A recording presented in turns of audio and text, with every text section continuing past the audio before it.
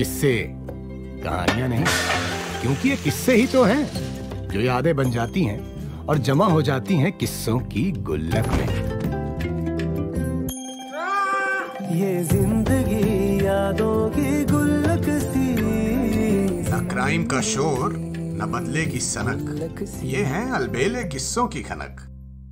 Hey guys my name Neeraj and you're watching knee review point तो आज के हम वीडियो में बात करेंगे कुछ ऐसी top five Indian web series के बारे में वेब शोज़ के बारे में जो कि 2021 के फ़र्स्ट टू मंथ्स के अंदर रिलीज़ हुई है। इन शोज़ की सबसे अच्छी बात क्या है कि इन शोज़ में आपको एवरीथिंग का परफेक्ट देखने के लिए मिलेगा, क्योंकि बहुत कम ऐसे शोज़ होते हैं जिनमें आपको great story line great content और ग्रेट एक्टिंग परफॉर्मेंस देखने के लिए मिलती है। इन शोज़ में आपको वो सब देखने के लिए मिलेगा जो कि आपको इन शोज़ में बनाए रखने के लिए काफ़ी है। तो वीडियो में आगे बढ़ने से पहले एक रिक्वेस्ट है चैनल को ज़रूर सब्सक्राइब कर देना, क्योंकि चैनल पे सब्सक्राइबर सीरियसली बहुत कम है। तो चलिए बढ़ते हैं नेक्स्ट हमारी वीडियो की ओर। तो अब ये वो पॉइंट है जब इंसान ज़िंदगी अच्छे से जीना सीख गया तो अब वो ज़िंदगी के मज़े ले रहा है। तो वो पूछता है कि ए ज़िंदगी, तू ठीक तो है? आज तेरी कोई खबर नहीं आई? सरा देख, शाम हो गई, आज कोई मुसीबत नहीं आई? शुरुआत करते हैं 2021 में रिलीज़ हुई वेब सीरीज़ तांडव के साथ। तांडव वेब शो को जनवरी 14 2021 को रिलीज़ किया गया था अमेजोन प्राइम के ऊपर। जिस तरह से तांडव की कंट्रोवर्सी चल रही है, उस तरह से तांडव के बहुत सारे नेगेटिव हॉल्स निकल के आते हैं कुछ अच्छी चीज़ें भी निकल के बाहर आती हैं। अगर मैं स्टोरी की बात करूँ तो स्टोरी फॉलो करती है इंडियन पॉलिटिक्स के कुछ ऐसे डार्क कॉर्नर्स के ऊपर, जहाँ पर पावर से भरे हुए लोग अपनी पावर का यूज़ करके कुछ भी करने का दम रखते हैं। और दूसरी और वहाँ पर कुछ अच्छे लोग भी हैं जो उनको मिटाना चाहते हैं। जहाँ पर बुराई है, वहाँ पर ईशाई ज़रूर होगी। और कहानी के मेल लीड में आपको सुनील ग्रोवर और सैफ्टी खान देखने के लिए मिलेंगे, जिन्होंने ग्रेट परफॉर्मेंस के साथ इस शो को बनाए रखा है। अगर हम शो के आई की बात करें तो शो को आई सिर्फ़ 4.2 मिली है, लेकिन मेरे हिसाब से जो शो थोड़ा ज़्यादा डिजर्व करता था, इतना बेकार जो शो नहीं है। आप इस शो को जाके खुद इंजॉय कर सकते हो। तांडव को। में जो शो आता है, उस शो को 4 जनवरी को रिलीज़ किया गया था 2020 के स्टार्टिंग पे और शो का नाम है jail plan jail plan show को वॉचो पर रिलीज़ किया गया था। जब मैंने इस शो को देखा था तो देखने के बाद मुझे ज़रूर लगा था कि ये शो अंडर ज़रूर रहेगा और ये शो वैसा ही हुआ।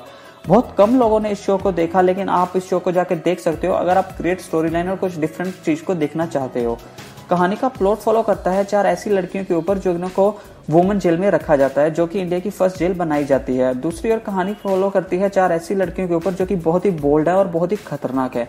कहानी में ट्विस्ट तब आता है जब वो डिसाइड करती है वहाँ से स्केप करने का और कहा उनका प्लान सक्सेसफुल होता है या फिर नहीं होता, जब उनके आगे कोई और चुनौती आ जाती है। शो में मज़ा तब आता है जब उनका बैकग्राउंड म्यूज़िक शो में चलना शुरू होता है, जो कि बहुत ही मस्त है। और आप इस शो को जाके एंजॉय कर सकते हो जेल प्लान को।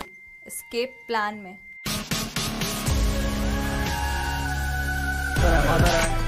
दुनिया ये मादर है।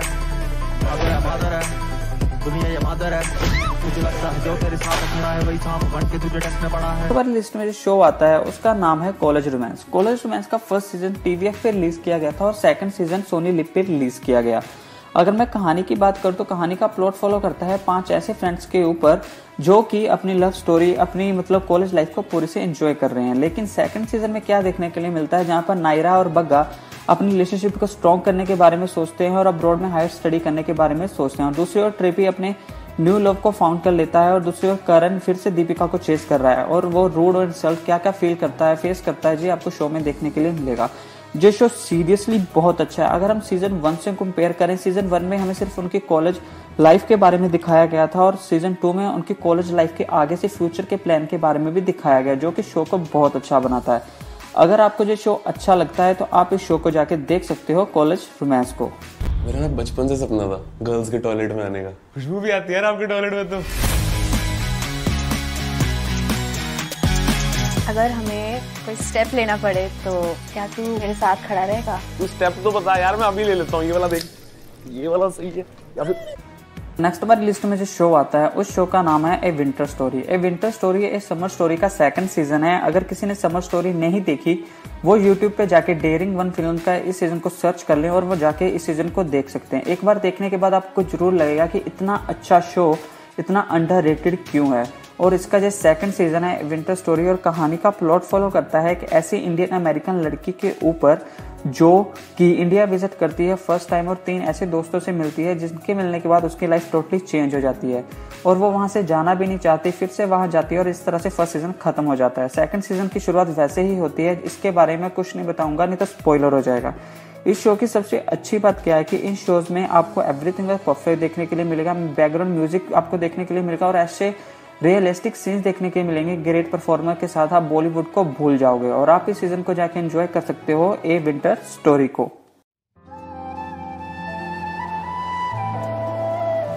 Life's so strange. I mean, I never thought that one day, out of nowhere, I'll meet you guys and you all become so important. Number one पर जो शो आता है उसका नाम है गुल्लक गुल्लक का सीज़न टू अभी 2021 में रिलीज़ किया गया है और इसका फ़र्स्ट सीज़न पहले रिलीज़ किया जा चुका है। और दूसरी ओर इस शो का आपको सेकंड सीज़न सोनी लिप पर देखने के लिए मिलेगा। कहानी का प्लॉट फॉलो करता है एक ऐसी फैमिली के ऊपर जहाँ पर चार करेक्टर हैं जिनकी अपनी अपनी लाइफ में अपनी अपनी स्टोरी चल रही है। और उस स्टोरी में क्या होता है जो आपको शो में खुद देखना होगा। इस शो को आप अपनी फैमिली के साथ में एंजॉय कर सकते हो। इसमें आपको एवरीथिंग बस रियलिस्टिक देखने के लिए मिलेगा, कुछ भी आपको एक्सेट्रा देखने के लिए नहीं मिलेगा। तो आप इस शो को जाके एंजॉय कर सकते हो। गुल्लक को। भैया। इस घर का माहौल देखकर अगर आप सोच रहे हैं कि ये नॉर्थ इंडिया का वही क्राइम ड्रामा है जहाँ बड़ा लड़का खून के रास्ते निकल पड़ा है। पापा हमको स्कूटी चाहिए। तो ये वो कहानी नहीं है। कुछ और शो सजेस्ट करना चाहूँगा जो 2020 के दिसंबर से लेके फेब 2021 तक रिलीज़ हुए हैं। इनमें से पोरशपुर आप जाके देख सकते हो ए एल टी बायोलॉजी पर लेकिन ये 18 प्लस शो है और दूसरी ओर criminal justice behind the door देख सकते हो, जो कि बहुत अच्छा शो है। और दूसरी ओर द मिसिंग स्टोन देख सकते हो एम एक्स प्लेयर पर जो अवेलेबल है। ये सभी शो बाकी में बहुत अच्छे हैं, लेकिन इनमें से पुरशारपुर थोड़ा सा इंटीमेटेड बहुत शो है, इसको आप रिजेक्ट भी कर दो तो भी कोई बड़ी बात नहीं है। तो ये थी मेरी ओर से आप सबके लिए कुछ ऐसी top five Indian web series जो कि 2021 के फ़र्स्ट टू मंथ्स के अंदर रिलीज़ हुई है। ये सारी की सारी वेब सीरीज़ बहुत अच्छी हैं बिंज वॉच वेब सीरीज़ हैं। अगर आप great contents great story line को फॉलो करते हो तो आप इन शोज़ को जाके एंजॉय कर सकते हो। अगर आपको वीडियो अच्छी लगी हो तो जाने से पहले चैनल को ज़रूर सब्सक्राइब कर देना बेल आइकन को ऑन कर देना। तो मिलेंगे हमारी नेक्स्ट वीडियो में, तब तक के लिए बाय बाय